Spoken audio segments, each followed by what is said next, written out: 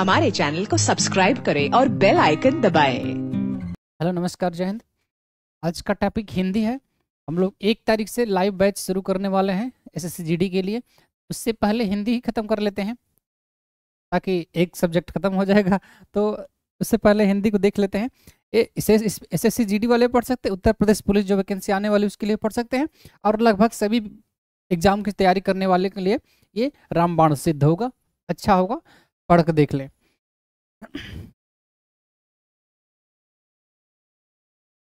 इसमें पढ़ना क्या है? हमें सबसे पहली बात यह है कि सिलेबस क्या है? सिलेबस हिंदी में क्या क्या हमें पढ़ना है? तो सबसे पहला है भाषा एवं हिंदी। हिंदी भी एक भाषा है लैंग्वेज है। तो भाषा के बारे में और हिंदी के बारे में पढ़ना है। उसके बाद वर्णमाला। वर्णमाला के बारे में पढ़ना है। संधि शब्द भेद संज्ञा, सर्वनाम, विशेषण, क्रिया। क्रिया विशेषण, अव्यय समास और कारक। काल, वाच्य, उपसर्ग, प्रत्यय। कोई कहेगा कि उपसर्ग, प्रत्यय क्या पढ़ने वाली चीज़ है? बताएँगे कैसे पढ़ने वाली चीज़ है। उपसर्ग, प्रत्यय, लिंग, वचन, वाक्य के प्रकार, वाक्य शुद्धि, हिंदी साहित्य का इतिहास के बारे में भी थोड़ा बहुत देखेंगे। रस, छंद, अलंकार और पत्र लेखन। इन सब के बारे में हम लोग डिटेल्स में पढ़ेंगे। डिटेल्स का मतलब जितनी ज़रूरत होगी उतना ही पढ़ेंगे। इतना डिटेल्स साहित्य वाले विद्यार्थी की तरह डिटेल्स में नहीं जाएँगे। हम लोग सामान्य हिंदी के तौर पर इसे पढ़ रहे हैं। साहित्य हिंदी के तौर पर नहीं पढ़ेंगे। तो पहला है भाषा एवं हिंदी। पहला चैप्टर है भाषा एवं हिंदी। भाषा शब्द भाष धातु से बना है। भाष। भाष धातु से बना है। भाषा भाष धातु से बना है। और इसका अर्थ होता है जानना। भाषा जो है विचार विनिमय का साधन, माध्यम है। विचार विनिमय का मतलब कि, विचार मतलब आपके मस्तिष्क में जो कुछ भी विचार आ रहा है, किसी चीज़ के बारे में जो कुछ भी आप सोच रहे हैं मस्तिष्क में, वही विचार है। और जब उसको एक्सप्रेस कर देंगे, किसी के, को कह देंगे, या लिखित रूप में कह दें किसी को, या मौखिक रूप में बोल कर कह दें, या संकेतों के रूप में इशारा कर दें, या आँख मार के या किसी प्रकार से संकेतों के रूप में इशारा कर दें तो वो क्या हो जाएगा? विचार विनिमय हो जाएगा। विचार, उसका विचार विनिमय हो जाएगा। यानी कि विचार का आदान प्रदान हो जाएगा। तो विचार विनिमय का अर्थ होता है आदान प्रदान। तो विनिमय जो शब्द है, विनिमय शब्द को पूछा जाता है। विनिमय शब्द को अपोजिट में, यानी कि विलोमार्थी शब्द में और समानार्थी शब्द में इनको पूछा जाता है। विलोम विनिमय शब्द को ध्यान देंगे। भाषा की विशेषताएँ, भाषा की विशेषताएँ जो है, भाषा की विशेषताएँ, भाषा एक अर्जित संपत्ति है। एक अर्जित संपत्ति है। अर्जित संपत्ति कैसे? क्योंकि भाषा जो है, हम लोग जब बच्चा जब पैदा होता है तो बोलता तो ज़रूर है, लेकिन क्या बोलता है उसे क्या पता? कुछ नहीं बोलता, रोता ज़रूर है। यानी कि बोलने की शक्ति इसमें है। यानी कि बोलना जन्मजात क्रिया है। मगर क्या बोलना है, ये तो समाज सीखा जाता है ना। तो भाषा एक अर्जित संपत्ति है। यानी कि संपत्ति, ये संपत्ति जो है, समाज से अर्जित की जाती है, समाज से ग्रहण की जाती है। ये एक सामाजिक प्रक्रिया है। सामाजिक प्रक्रिया, क्योंकि समाज से ही ग्रहण की जाती है, सामाजिक प्रक्रिया हो गई। इसका अंतिम स्वरूप नहीं होता है। भाषा का अंतिम स्वरूप नहीं होता। अगर भाषा का अंतिम स्वरूप होता तो भाषा कभी बदलती नहीं। हम लोग संस्कृत से संस्कृत से वैदिक संस्कृत, फिर लौकिक संस्कृत, उसके बाद पाली, प्राकृत, इस प्रकार से बदलते बदलते, अपभ्रंश अपभ्रंश, बदलते बदलते फिर हिंदी तक आ गए हम लोग। यानी कि अगर इसका मतलब कि भाषा बदलती है और भाषा बदलती है, यानी कि इसका अंतिम स्वरूप नहीं होता तभी तो बदलती है। अगर अंतिम स्वरूप होता तो वहाँ से बदलती भी नहीं तो अंतिम स्वरूप नहीं होता है। भाषा परिवर्तनशील होती है, क्योंकि अंतिम स्वरूप नहीं होता, इसलिए परिवर्तनशील होती है, तभी तो हम लोग संस्कृत से लेकर आज तक हिंदी तक आ गए। भाषा का मानक स्वरूप अवश्य होता है। भाषा अंतिम स्वरूप नहीं होता है, लेकिन उसका मानक स्वरूप एक मानक तो होता है कि अ लिखना है तो अ ऐसे ही लिखा जाएगा। क लिखना है तो क ऐसे ही लिखा जाएगा। आप आप लिख दें ऐसे। ऐसे लिख दें और आप बोलेंगे क लिखे हैं तो उसको नहीं माना जाएगा। यानी कि आप एक मानक जो निर्धारित किया गया है, उस मानक के तहत ही आप लिखेंगे। जब उसका विस्तार होगा तो उस मानक में चेंज धीरे धीरे किया जाएगा, लेकिन फ़िलहाल जो मानक तय होगा, उसी मानक के अनुसार ही आप लिखेंगे। भाषा कठिन से सरल की ओर। कठिन से सरल की ओर अग्रसर होती है। कठिन से सरल की ओर क्यों? क्योंकि आप जब तक भाषा को अच्छे ढंग से समझते नहीं होंगे, तब तक आपको कठिन लगेगा। और जब आप भाषा को अच्छी तरह समझ जाएँगे तो आपके लिए सरल हो जाएगा। तो इसलिए भाषा कठिन से सरल की ओर अग्रसर होती है। भाषा को सीखने के तीन प्रकार की योग्यताएँ आवश्यक हैं। तीन प्रकार की योग्यताएँ आपके होने, पास होनी ही चाहिए। जिज्ञासा, अनुकरण और अभ्यास। जिज्ञासा मतलब जिज्ञासा का सीधा सा अर्थ है किसी वस्तु को जानने की इच्छा। एक वन वर्ड सब्स्टिट्यूशन यानी कि अनेक शब्दों के लिए एक शब्द में पूछा जाता है ध्यान देंगे इस शब्द को। तो जिज्ञासा किसी चीज़ को सीखने के लिए आपके पास जिज्ञासा होती है जिज्ञासा होनी चाहिए। हम जैसे कहते हैं ना कि आप को, कोई जानवर है वो अगर पानी नहीं पीना चाहता है तो उसको जानवर के पास पानी लेकर जा सकते हैं लेकिन उसको पिला तो नहीं सकते क्योंकि उसकी जिज्ञासा नहीं है। तो आप किसी कोई सीखना अगर नहीं चाहता है तो आप सिखा सकते हैं, फिर भी नहीं सीखेगा, क्योंकि उसके पास जिज्ञासा ही नहीं है। तो सीखने के लिए जिज्ञासा होने चाहिए होनी चाहिए, यानी कि जानने की इच्छा रखना होना, रखना चाहिए उसके पास, तभी वो सीख पाएगा। अनुकरण, सिर्फ़ जानने की इच्छा नहीं होगा, उसका अनुकरण भी करना चाहिए। अब आप कहें कि कोई पीछा कर रहा है लड़की का या कुछ किसी का भी, आप कहें कि उसका जिज्ञासा है ये जिज्ञासा है। सही बात है, जिज्ञासा है, लेकिन उसका अनुकरण कर रहा है। अनुकरण का कर रहा है तो अनुकरण कर रहा है, पीछा कर रहा है तो अच्छी बात हालाँकि नहीं है, लेकिन कहने का मतलब कि अनुकरण करना क्या है? कहीं अच्छा भी है, कहीं अच्छा नहीं भी है, वो डिपेंड करता है किस किस सब्जेक्ट में लिया गया है। तो अनुकरण, अभी क्या करेंगे? अभी भाषा को अगर सीखना है आपको तो जिज्ञासा आपके पास होनी चाहिए, आपके पास अनुकरण होना चाहिए, यानी कि जो टीचर सिखा रहा है या किताब सिखा रही है या जहाँ से आप सीख रहे हैं, उसका अनुकरण करेंगे। यानी कि जैसा जैसा बताएगा, वैसा वैसा करेंगे, तभी आप सीख पाएँगे। अनुकरण को भी पूछा जाता है। इसके बाद अभ्यास। तीसरी कंडीशन है अभ्यास। बार बार आप अभ्यास अगर नहीं करेंगे तो भूल जाएगा। और जैसे सब्जेक्ट जो होता है, एक होता है सब्जेक्ट होता है लैंग्वेज सब्जेक्ट जो होता है, वो जल्दी नहीं भूलता है। चलो एक बार सीख लिए तो काम करा। आप सीख गए कि पाँच प्लस तीन आठ होता है तो अब ज़िंदगी भर काम करेगा कि पाँच प्लस तीन आठ होता है। हालाँकि ये भी भूलता ऐसी बात नहीं है, लेकिन भाषा जल्दी भूल जाती है। भाषा का अगर अभ्यास नहीं करें, आप इंग्लिश सीख गए, स्पीकिंग कोर्स लेकर आप जाकर कोचिंग में स्पीकिंग कोर्स लिए और इंग्लिश सीख गए, उसके बाद उसका अभ्यास नहीं करेंगे तो स्पीकिंग कोर्स फिर से लाना पड़ेगा, अब भूल जाएगा। भाषा का विकास क्रम विकास क्रम आपसे पूछ लिया जाता है कभी कभी सुनना, बोलना, पढ़ना और लिखना। सुनना और बोलना जो है जन्मजात है, जबकि पढ़ना लिखना जन्म प्रांत है, यानी कि जन्म के बाद। व्यक्ति जब समाज में आता है, जब व्यक्ति, एक बच्चा जब होता है तो वो सुनना जानता है। आप उसे कुछ बोलेंगे तो वो सुन लेगा आपकी बातों को।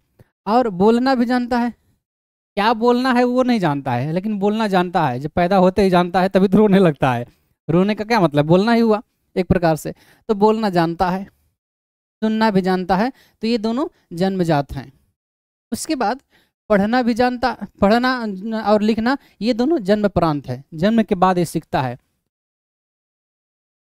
तो पढ़ना और लिखना तो इसको याद करने के लिए सुबोपोली याद कर सकते हैं। सुबोपोली, यानी कि पहली कंडीशन क्या है? सुनना।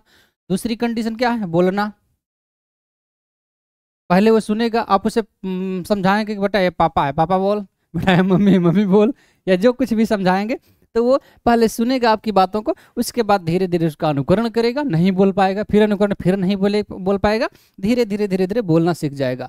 तो पहली कंडीशन सुनना, बोलना दूसरी कंडीशन तीसरी कंडीशन पढ़ना और चौथी कंडीशन हो लिखना।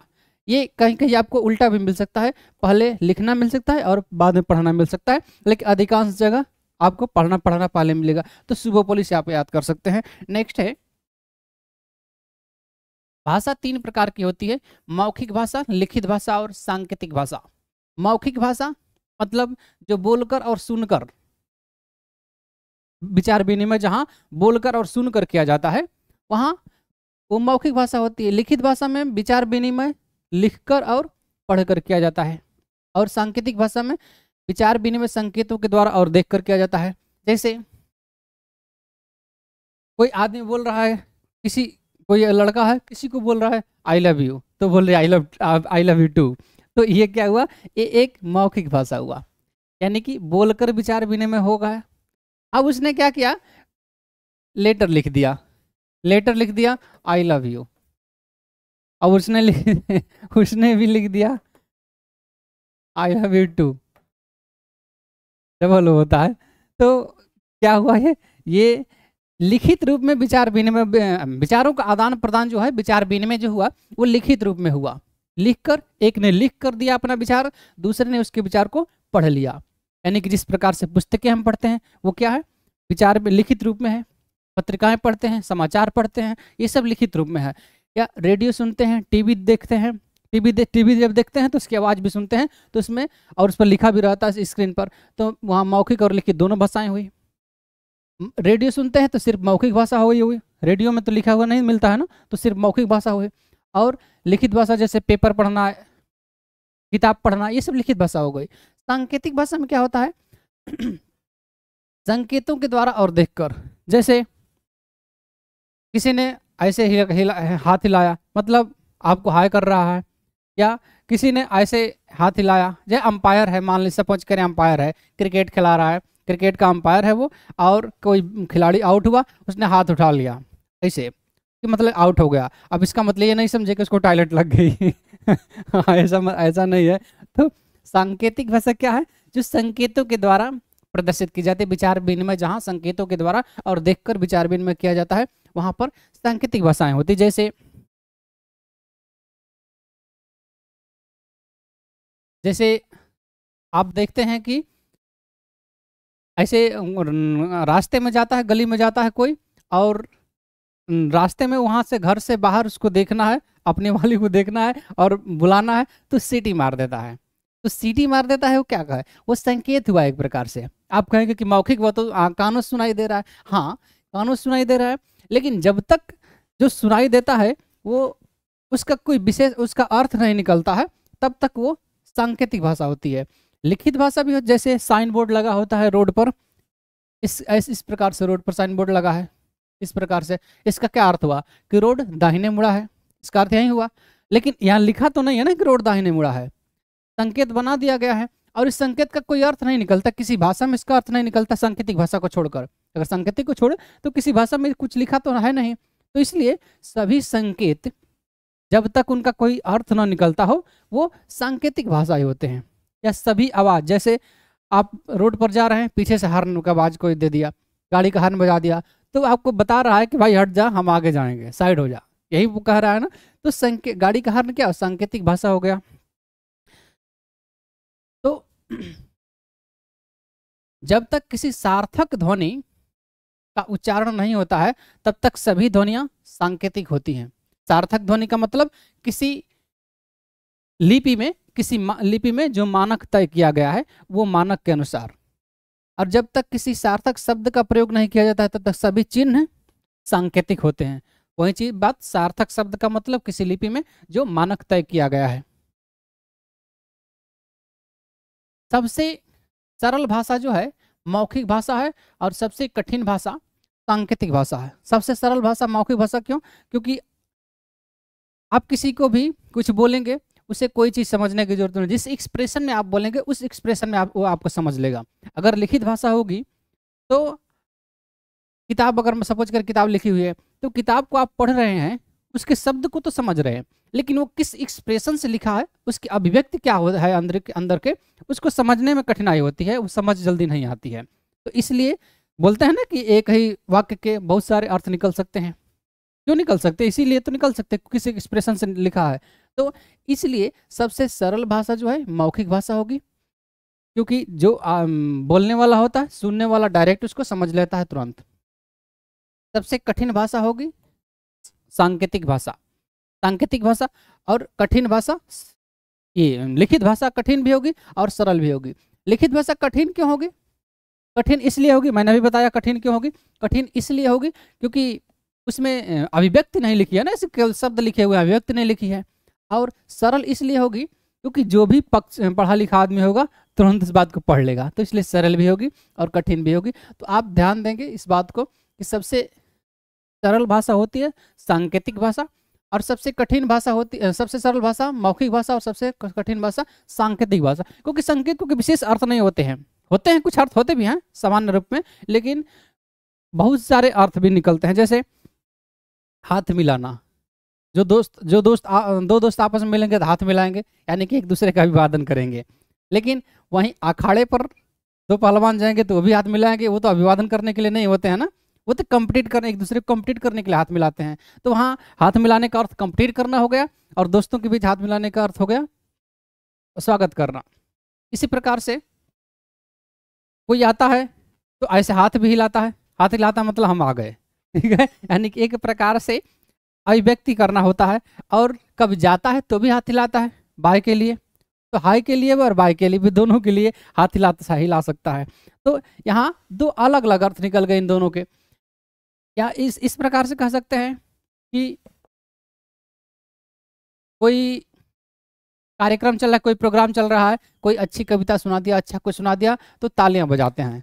तालियाँ बजाते हैं और ताली जब बजाते हैं तो वो क्या होता है? उसको एक अभिव्यक्ति उसका स्वागत करना, करने का एक अभिव्यक्ति होता है। अभिव्यक्त करने का स्वागत के अभिव्यक्त को एक तरीका होता है ताली बजाकर। लेकिन हम जाते हैं और अपने दोस्त को बुलाना होता है, या हम जाते हैं तो या आप, हम जाते हैं, या आप किसी को और को बुलाना होता है, दोस्त को अथवा दोस्ताइन को बुलाना होता है तो दोस्ताइन को बुलाने के लिए क्या करते हैं? गली में से ताली बजा देते हैं, ऐसे। और ताली के सुनकर आ, वो बर्जे पा जाती हैं और दीदार कर लेते हैं। वो अलग बात हो कि ताली की आवाज़ कोई और सुन लिया तो आपके मैंडिबल भी टूट सकते हैं। वो अलग बात हो गई। लेकिन ताली का क्या अर्थ है? ताली का कई अलग अलग जगह अलग अलग अर्थ हो गए ना? तो इसी प्रकार से संकेतों के अर्थ बिल्कुल रूप से जो है एक मानक नहीं रहे। संकेत एक निश्चित नहीं होते हैं इसलिए संकेत को समझना थोड़ी सी कठिनाई होती है तो इसलिए सबसे कठिन भाषा सांकेतिक भाषा होती है। व्याकरण, वह कृति संस्करण विद्या ग्रंथ रचना पुस्तक जो भी कुछ भी कह लें तो व्याकरण वह चीज़ है। व्याकरण सीधी सी बात ये बोले कि वह चीज़ है जो हमें उच्चारण के बारे में, लेखन के बारे में और प्रयोग के बारे में समझ प्रदान करती है, वही व्याकरण है। व्याकरण पढ़कर ही हम पता कर पाएँगे कि किसी वर्ण का उच्चारण किस प्रकार से करना है सही ढंग से और लेखन, उसको लिखना भी सही ढंग से किस प्रकार है? वो व्याकरण ही बताएगा वही मानक तय करता है तो व्याकरण ही बताएगा। और उसका प्रयोग कहाँ किस प्रकार से होगा ये भी व्याकरण के द्वारा ही शुद्ध होगा। भाषा हिंदी भाषा की आदि जननी संस्कृत है यानी कि संस्कृत से ही हिंदी की उत्पत्ति हुई है इसलिए हिंदी भाषा की आदि जननी संस्कृत है। आप ये दे, यहाँ देख सकते हैं कि सबसे पहले संस्कृत थी। संस्कृत यानी कि अब पंद्रह सौ बीसी से पहले का समय जब भी ले तो संस्कृत चलता, चला करता था। तो संस्कृत में दो रूपों में पहले बदला, एक वैदिक संस्कृत और एक लौकिक संस्कृत। वैदिक संस्कृत, जिसमें वेद पुराण उपनिषद लिखे गए। वैदिक का मतलब होता है वेद वेद प्लस इक। तो वैदिक पुराण में क्या लिखा गया वैदिक संस्कृत में? वेद पुराण उपनिषद। ये पंद्रह सौ बीसी से एक हज़ार बीसी के आसपास का कार्यकाल है। इसमें आप करेक्ट आपको करेक्ट इस पर विवाद नहीं करना है, क्योंकि ये किसी भी भाषा का विकास एक दो दिन में, चार दो में या दो, चार वर्ष में नहीं होता है, उसको विकसित होने में कई वर्षों का समय लगता है। तो इसलिए डेट पर आप विवाद नहीं खड़ा करेंगे। वैदिक संस्कृत जो है, इसमें वेद, पुराण, उपनिषद लिखे गए। उसके बाद इससे बना लौकिक संस्कृत। यानी कि संस्कृत से ही वैदिक संस्कृत और लौकिक संस्कृत दोनों आप प्रचलन में आए। लौकिक संस्कृत एक हज़ार बीसी से पाँच सौ बीसी माना जाता है, जिसमें रामायण और महाभारत लिखे गए हैं। लौकिक संस्कृत में। अब वैदिक संस्कृत, क्योंकि साहित्य संस्कृत का साहित्य संस्कृत एक रूप था तो इसमें कठिन कठिन शब्द थे तो ये सामान्य प्रचलन में नहीं आया, और ये विलुप्त के कगार पर चला गया। लौकिक संस्कृत जो है, लोक प्लस इक यहाँ लिखा है, लौकिक का मतलब होता है लोक प्लस इक लोक का मतलब लोग, यानी कि ये लोगों के बीच बोली जाने वाली भाषा थी, इसलिए इसका प्रचलन और आगे बढ़ा। लौकिक का जब रूप बदला थोड़ा बहुत रूप इसका बिगड़ा तो हमें देखने को मिला एक पाली भाषा। पाली भाषा में बौद्ध धर्म, इस समय इस समय बौद्ध धर्म चल रहा था और त्रिपिटक लिखे गए। पाली का विकास 500 से एक एडी के बीच 500 बीसी से एक एडी के बीच मान सकते हैं। इसमें बौद्ध धर्म के त्रिपिटक लिखे गए। प्राकृत उसके बाद पाली का जब रूप बिगड़ा, पाली भाषा का रूप बिगड़ा, यानी कि लोगों क्या होता है? रूप बिगड़ता है ना, जैसे रामेश्वर। जैसे सपोज़ करें, रामेश्वर किसी का नाम है और वो बोलते हैं रमेश्वर। ये रमेश्वर, का हाल बा ठीक ठाक वाला ना? तो ऐसे बोलते हैं, यानी कि रूप बिगाड़ देते हैं। या आप देखे होंगे, मास्टर। एक मास्टर होता है ना, किसी टाइटल है मास्टर, जैसे बोलते हैं मास्टर, टीचर को। तो मास्टर, बूढ़े लोग क्या कहते हैं? अरे मास्टर ठीक ठाक बाड़े ना? का हाल बा ऐसे बोलते हैं, यानी कि मास्टर को क्या बोल दिए? मास्टर। मास्टर बोल दिए। तो इसी प्रकार से रूप रूप बदलते हैं। लोग के जो प्रचलित होते हैं, लोगों के बीच में, उसके रूप बदलते रहते हैं। तो रूप बदलने के कारण पाल, पाली से भी रूप बदला बदला धीरे धीरे और विकास हो गया प्राकृत भाषा का। एक एडी से पाँच सौ एडी तक का कार्यकाल इसका ले सकते हैं। इस समय जैन धर्म अस्तित्व में था, अपने चरम पर था और जैन धर्म के आगम जो है, प्राकृत भाषा में ही लिखे गए हैं।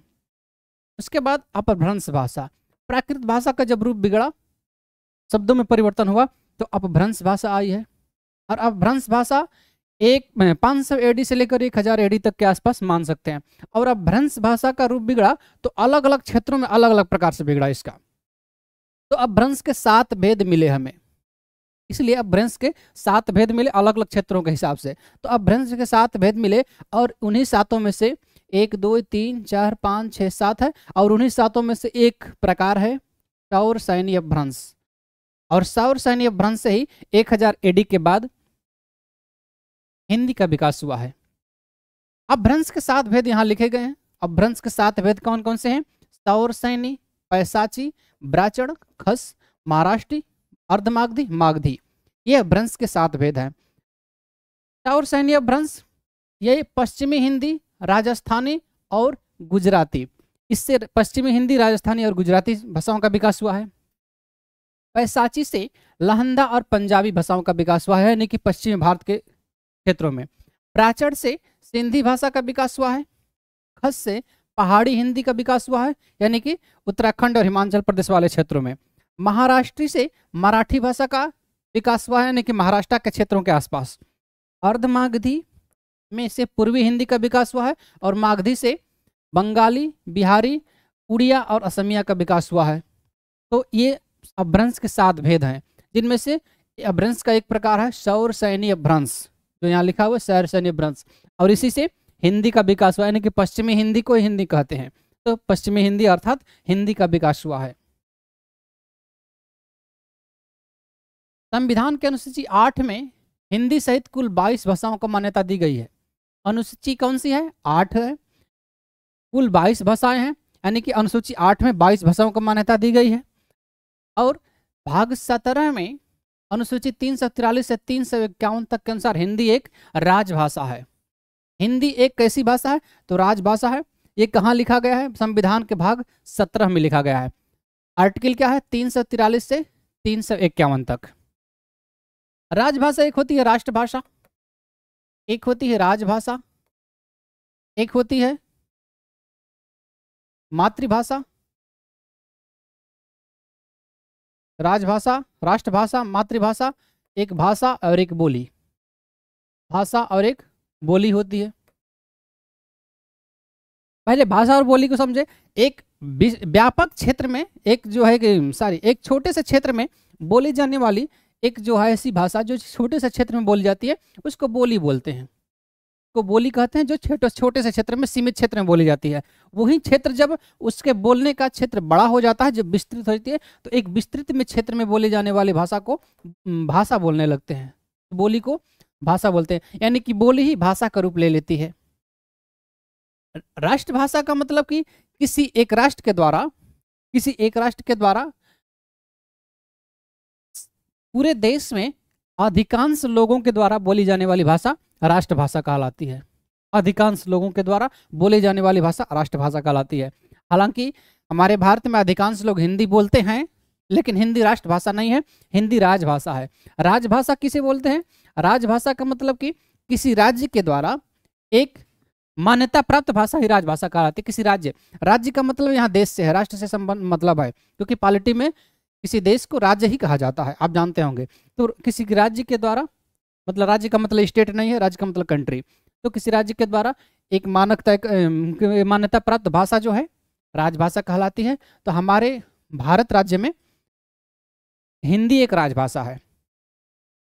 मातृभाषा तो वो होती है जो हम अपने समाज से प्रारंभिक शिक्षा के साथ सीखते हैं और जैसे जब हम छोटे होते हैं तो अपने परिवार से, अपने समाज से, अपने माता पिता से जो भाषा सीखते हैं, उसे हम मातृभाषा कहते हैं.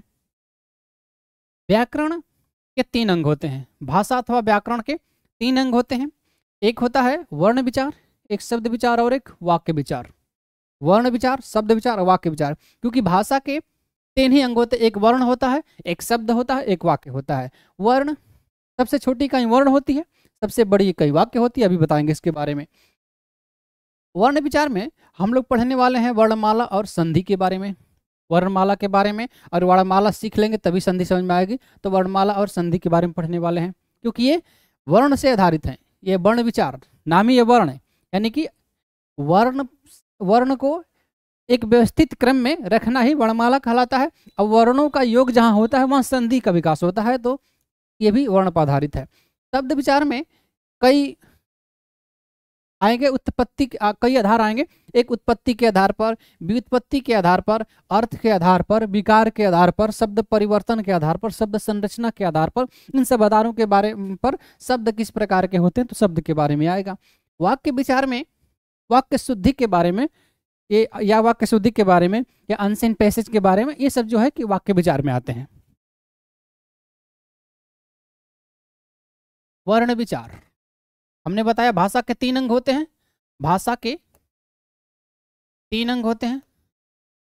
एक वर्ण, एक शब्द और एक वाक्य। सबसे छोटा अंग क्या होता है? वर्ण होता है क्योंकि वर्णों से ही शब्द बनते हैं।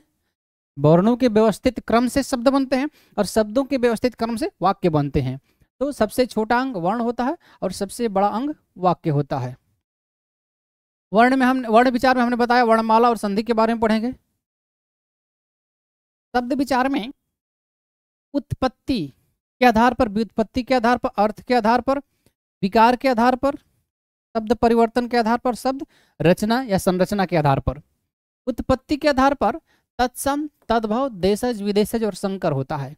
उत्पत्ति के आधार पर शब्द पाँच प्रकार के होते हैं, तत्सम, तद्भव, देशज, विदेशज, संकर। तत्सम का मतलब कि जो शब्द संस्कृत से क्योंकि भाषा हिंदी भाषा संस्कृत से बनी हुई है ना? संस्कृत से पाली बना, फिर संस्कृत से लौकिक संस्कृत बना, फिर पाली बना, फिर प्राकृत बना, इस प्रकार संस्कृत से बनी हुई है। तो जो भाषा कुछ ऐसे शब्द है जो संस्कृत से जो कहती हूँ, आज भी है, प्रचलित, प्रचलन में है, हिंदी में। तो ऐसे शब्द जो संस्कृत से उठकर आ गए उन्हें तत्सम बोलेंगे। और संस्कृत से जो बदल गए हैं, उन्हें तद्भव बोलेंगे। और जो हिंदी में जहाँ जिनका स्थान नहीं है, ऐसे देशी क्षेत्रों क्षेत्रों के लोगों के द्वारा गढ़ लिए गए हैं, उन्हें देशज भाषा बोलेंगे और जो अन्य भाषाओं के द्वारा ले लिए गए हैं, ग्रहण कर लिए गए उन्हें विदेशी भाषा बोलेंगे, और कई भाषाओं को मिलाकर जो शब्द होते हैं, उन्हें संकर भाषा बोलेंगे। तो आगे, आएगा डिटेल्स में पढ़ेंगे इसके बारे में। अभी फ़िलहाल शार्ट में बता रहे हैं। व्युत्पत्ति के आधार पर, ये उत्पत्ति हुई, यानी कि उत्पन्न कहाँ से हुआ है, इसके आधार पर हुआ है। क्या संस्कृत से उत्पन्न हुआ है? क्या हिंदी ने उत्पन्न किया है? क्या देश में ही उत्पन्न हुए हैं? या अन्य विदेशों में उत्पन्न हुए हैं या कई में भाषाओं को मिलाकर तो ये उत्पत्ति के आधार पर उत्पन्न के आधार व्युत्पत्ति। व्युत्पत्ति का मतलब कि बी प्लस उत्पत्ति यानी कि व्युत्पत्ति का मतलब हुआ, हुआ कि वो किस प्रकार का बना है क्या रूढ़ है क्या एक है उसको तोड़ा नहीं जा सकता है। क्या अगर तोड़ा जा सकता है तो कैसे तोड़ा जा सकता है? तो तीन प्रकार से आता है रूढ़ यौगिक और योग रूढ़। रूढ़ का मतलब कि वो बिल्कुल रूढ़ हो गया है। जैसे बोलते हैं ना कि बोल के रूढ़ हो गया आप किसी काम का है, रहा नहीं। तो ये रूढ़ होते हैं मतलब इनको अन्य शब्दों में तोड़ा नहीं जा सकता। एक ऐसा शब्द जो रूढ़ होता है। अभी एग्ज़ाम्पल हम सब देंगे, लेकिन अभी फ़िलहाल आगे पढ़ेंगे। अभी सिर्फ़ छोटा थोड़ा थोड़ा बता रहे हैं इसके बारे में। यौगिक होता है, जिन्हें तोड़ा जा सकता है, और योग रूढ़ होते हैं, इन्हें भी तोड़ा जा सकता है। तो फिर दोनों में अंतर क्या है? जब दोनों को तोड़ा जा सकता है तो? इन्हें तोड़ा जा सकता है, उनके अर्थ निकलते हैं, और जब इन्हें तोड़ा जाएगा तो उनका अर्थ रूढ़ हो जाएगा, विशेष हो जाएगा। अर्थ के आधार पर सार्थक होते हैं और निरर्थक होते हैं।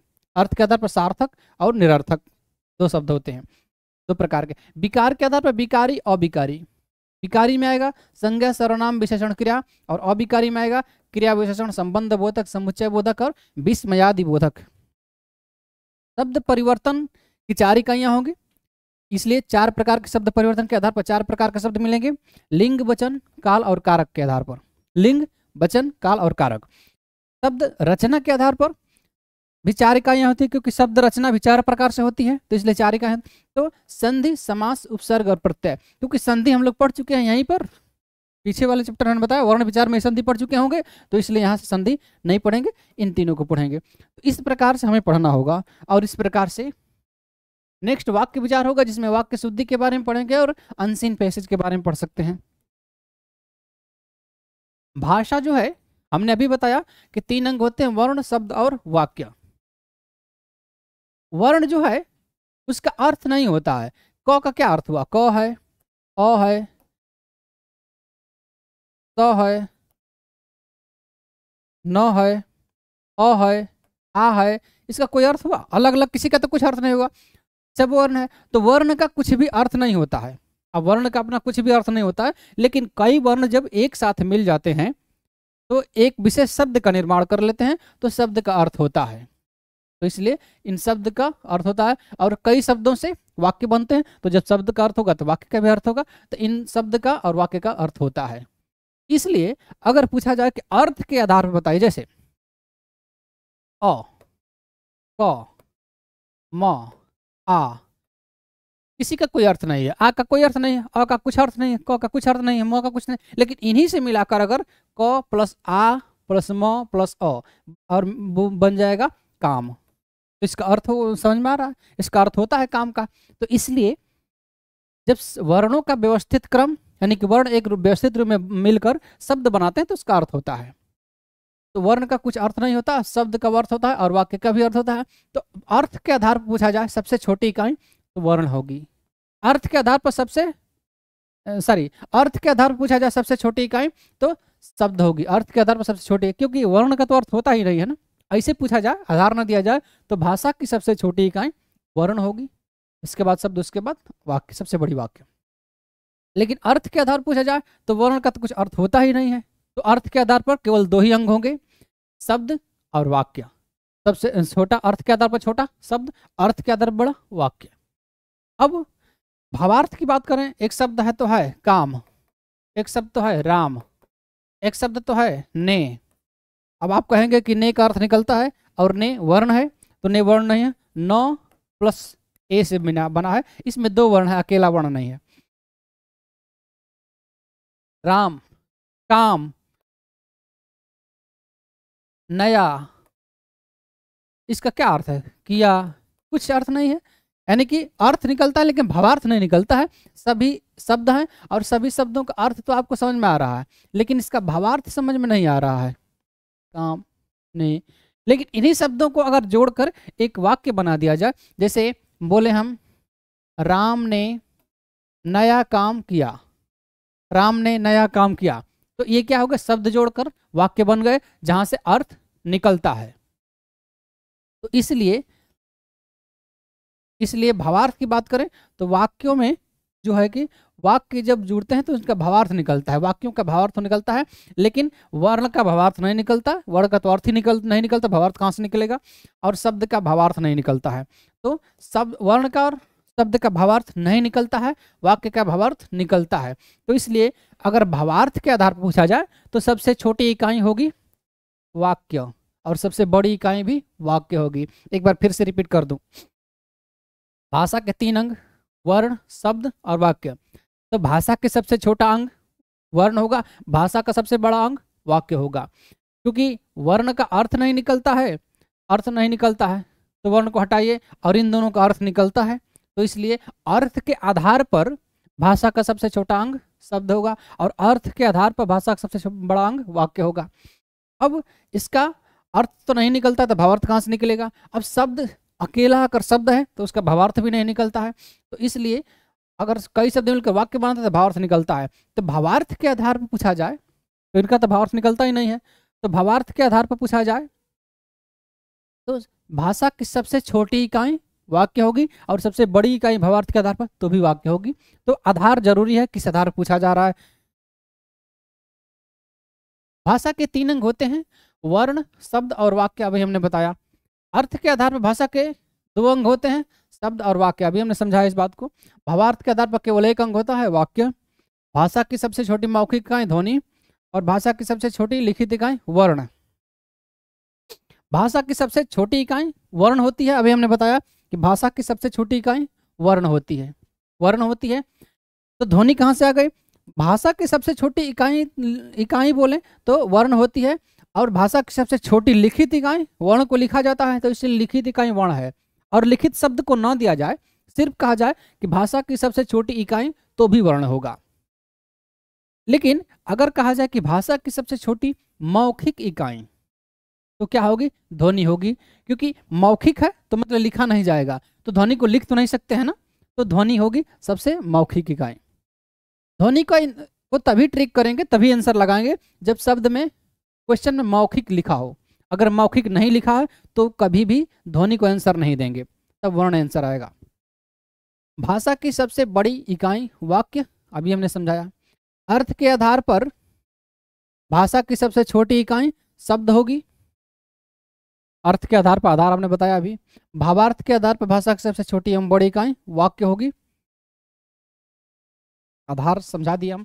शब्द संरचना की चार इकाइयाँ होती है। शब्द संरचना यानी कि संरचना मतलब शब्दों की रचना, शब्द का निर्माण कैसे होता है? तो शब्द निर्माण के लिए, यानी कि शब्दों से नया शब्द बनना, यही शब्द संरचना है। तो नया शब्द बनाने के लिए चार प्रकार से नया शब्द बन सकता है। संधि के द्वारा बन सकता है, समास करके बन सकता है, उपसर्ग के द्वारा, प्रत्यय के द्वारा। यानी कि दो शब्दों के बीच में संधि अगर करेंगे तो एक नया शब्द बनेगा। जैसे सम प्लस आचार। ये हो जाएगा समाचार। समाचार। ये सम है तो शाम कैसे सा, सा है यहाँ कैसे हो गया? वो बाद की बात है होता है लेकिन कैसे होता है बाद की बात है। बाद में देखेंगे। तो ये ये संधि हो गई। क्या हुआ? इनमें और इनमें संधि हो गई। हालाँकि इसे संधि नहीं बोलते हैं इसे बोलते हैं संयोग बोलते हैं तो वो अलग चीज़ है। आप समझें कि संधि हो गई इसमें। जैसे राम प्लस अयन, राम प्लस अयन तो ये हो जाएगा रामायण। रामायण, न अड़ा कैसे हो गया, वो भी बात की बात है। तो ये राम प्लस अयन रामायण क्या हो गया? राम एक शब्द है, अयन एक शब्द है, दो शब्दों को मिलाकर रामायण बन गए तीसरा शब्द का निर्माण हुआ। यहाँ राम एक शब्द, सम प्लस एक शब्द, आचार एक शब्द है दोनों को मिलाकर समाचार एक नया शब्द बन गए तो नया शब्द बनाने के लिए संधि से बना सकते हैं। समाज से भी बना सकते हैं। देश से निकाला हुआ। देश निकाला। देश निकाला, यानी कि जैसे आगंतुक आगंतुक, इस प्रकार से बहुत सारे शब्द होते हैं जो समास के होते हैं। जैसे, शीतोष्ण शीतोष्ण, एक शब्द है शीतोष्ण। इसका अर्थ होता है शीत प्लस उष्ण। शीत व या उष्ण। शीत या उष्ण, यानी कि ठंडा या गर्म। तो शीतोष्ण बन गया तो शीत शीत या उष्ण, इन, या तीन शब्दों को मिलाकर एक नया शब्द बन गया। इस नया शब्द का निर्माण हो गया। तो क्या कैसे हुआ ये? समास से हुआ। तो समास के आधार पर भी नया शब्द का निर्माण हो सकता है। उपसर्ग के आधार पर भी नया शब्द का निर्माण हो सकता है। जैसे, सपत्निक सम प्लस आचार समाचार अभी हम बताया, सम एक उपसर्ग हुआ, आचार एक शब्द हो गया। तो ये उपसर्ग के आधार पर भी नया शब्द बन सकता है, अब प्रत्यय के आधार पर भी नया शब्द बनता है। जैसे काम एक शब्द है असमें वाली प्रत्यय जोड़ दीजिए तो काम वाली हो जाएगा। तो ये भी शब्द यहाँ से भी बन सकता है। तो शब्द बनाने के चार आधार हैं, यानी कि शब्द संरचना की चार इकाइयाँ होती है, संधि, समास, उपसर्ग और प्रत्यय। यहाँ से शब्द बनते हैं। रूढ़ शब्दों में हमने बताया अभी पीछे जो रूढ़ शब्द है। अभी इसको आगे पढ़ेंगे, आगे आएगा, अभी नहीं डिटेल्स में नहीं पढ़े लेकिन रूढ़ शब्द होते हैं जिन्हें तोड़ा नहीं जा सकता है। तो रूढ़ शब्दों में जिसे तोड़ा ही नहीं जा सकता, उसमें संधि कहाँ से होगी? उसमें समास कहाँ से होगी? उसमें उपसर्ग क्या होगा? उससे प्रत्यय क्या होगा? जब से तोड़ा ही नहीं जा सकता है। तो इसमें इस, ये सब नहीं होते हैं। संधि, समास, उपसर्ग, प्रत्यय रूढ़ शब्दों में नहीं होते हैं। शब्द परिवर्तन की चार इकाइयाँ होती हैं। शब्द परिवर्तन की चार इकाइयाँ, लिंग, वचन, काल कारक, शब्द परिवर्तन, यानी कि शब्द को दूसरे, एक दूसरे प्रकार से बदलना, ये शब्द परिवर्तन होता है। यहाँ होता है कई शब्दों को मिलाकर एक नया शब्द बनाना, संरचना मतलब नया शब्द बनाना, और यहाँ होता है उसी शब्द को बदल देना, यानी कि शब्द परिवर्तन। शब्द परिवर्तन शब्द संरचना की चार इकाइयाँ थी, उसी प्रकार शब्द परिवर्तन की भी चार इकाइयाँ होती है। लिंग, वचन, काल और कारक। लिंग के आधार बदल सकते हैं, जैसे जेठ का जेठानी, ये आया था हॉस्टल वार्डन में। तो लिंग, ये लिंग के आधार पर बदल गया। वचन के आधार पर बच्चा, बच्चे तो ये वचन के आधार पर बदल गया। काल के आधार पर राम रोटी खाता है तो राम रोटी खाता था, है की जगह पे था, आ गया। तो काल के आधार पर बन सकता है। कारक के आधार पर राम ने रोटी खाया, राम रोटी खाया है, इस प्रकार से। तो कारक के आधार पर ये सब आगे आएँगे तो आगे डिटेल्स पढ़ेंगे। अभी सिर्फ़ हम उसका इंट्रोडक्शन दे रहे हैं। उपसर्ग प्रत्यय निपात अव्यय स्वरूप होते हैं। अव्यय ये नहीं होते हैं। ध्यान देंगे, उपसर्ग, प्रत्यय और निपात, ये अव्यय नहीं होते हैं, सिर्फ़ अव्यय स्वरूप होते अव्यय स्वरूप का मतलब कि अव्यय के जैसे होते हैं, अव्यय नहीं होते हैं। उपसर्ग, प्रत्यय और निपात, अव्यय क्यों नहीं होते हैं? क्यों अव्यय स्वरूप होते हैं? क्योंकि ये पूरा शब्द होते ही नहीं है, एक शब्दांश होते हैं। उपसर्ग केवल शब्दांश होते हैं, पूरा शब्द नहीं होते हैं। प्रत्यय भी केवल शब्दांश होता है, पूरा शब्द नहीं होता है, और निपात भी। निपात पूरा शब्द होता है, लेकिन पूरे एक शब्द के रूप में प्रयोग नहीं होता है तो इसके बारे में आगे आएगा अभी उपसर्ग प्रत्यय जब पढ़ेंगे तो। लिपि के बारे में थोड़ा सा देख लेते हैं, लिपि। लिपि का विकास कैसे हुआ है? तो सभी, हम बोलते हैं ना कि सभी लिपियों का विकास ब्राह्मी लिपि से हुआ है, और सभी भाषाओं का विकास। संस्कृत भाषा से हुआ है। तो संस्कृत भाषा से भाषाओं का विकास कैसे हुआ तो पीछे हम लोग देख चुके लेकिन ब्राह्मी लिपि से सभी लिपियों का विकास कैसे हुआ है? तो ब्राह्मी लिपि प्राचीन काल में दो रूपों में बटी। एक उत्तरी ब्राह्मी और एक दक्षिणी ब्राह्मी। दक्षिणी ब्राह्मी से दक्षिण भारत के लिपियों का विकास हुआ है। दक्षिण भारत। दक्षिण भारत की लिपियों का विकास हुआ। जैसे दक्षिण भारत में जो भी भाषाएँ बोली जाती है मलयालम भाषा होती तेलुगु भाषा हो गया कन्नड़ भाषा हो गया इस प्रकार की जो भी भाषा बोली जाए दक्षिण भारत में, उन सब लिपियों का विकास ब्राह्मी, दक्षिणी ब्राह्मी लिपि से हुआ है। उत्तरी ब्राह्मी लिपि से उत्तर भारत की लिपियों का विकास हुआ है। उत्तरी ब्राह्मी, पहले गुप्त लिपि, फिर सिद्ध मातृका लिपि, फिर कुटिल लिपि में विकसित हुई। गुप्त सिद्ध मातृका और कुटिल। इस पर थोड़ा सा ध्यान देंगे कर, क्रम एक बार पूछा, हालाँकि पूछा नहीं जाता है, एक बार पूछा गया क्रम। जल्दी नहीं पूछा जाता है। गुप्त लिपि सिद्ध मातृका लिपि और कुटिल लिपि। इसके बाद कुटिल लिपि जो है, पुनः दो भागों में बट गई। ये सब उत्तर भारत की लिपियाँ चल रही है। दक्षिण भारत के दक्षिण को खत्म छोड़ दिया वहीं पर। उत्तर भारत की लिपियाँ चल रही है। तो कुटिल लिपि दो भागों में बटी, एक शारदा लिपि और एक नागरी लिपि। शारदा लिपि, नागरी लिपि। शारदा लिपि लिपि जो है, पश्चिमी भारत में बनी। इससे गुरुमुखी, कश्मीरी, लहंदा और टाकरी। इन सब लिपियों का विकास हुआ है। गुरुमुखी, कश्मीरी, लहंदा और टाकरी। गुरुमुखी लिपि से पंजाबी भाषा का विकास हुआ है। कश्मीरी भाषा से सिंधी, कश्मीरी लिपि में सिंधी भाषा का विकास हुआ है। तो इसी प्रकार से अलग अलग भाषाएँ विकसित हुई है। दक्षिणी सॉरी नागरी लिपि में है। नागरी लिपि पुनः दो भागों में बटी। एक पूर्वी नागरी और एक पश्चिमी नागरी। पूर्वी नागरी यानी कि बंगला, असमिया और उड़िया भाषा का विकास हुआ है। यानी कि वेस्ट बंगाल, असम पूर्वोत्तर के क्षेत्रों में असम असम को लेकर सब और इधर उड़ीसा के क्षेत्रों में, ये सब जो लिपि, इधर जो भाषाएँ बोली जाती हैं, वो जिन लिपियों से विकास हुआ है, वो पूर्वी नागरी से बनी है।